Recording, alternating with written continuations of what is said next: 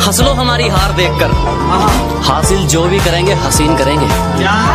के हंसलो हमारी हार देखकर हासिल जो भी करेंगे हसीन करेंगे। और ये छोटी मोटी वारदात तो बच्चों का काम है। हम तसल्ली करेंगे तो बेहतर।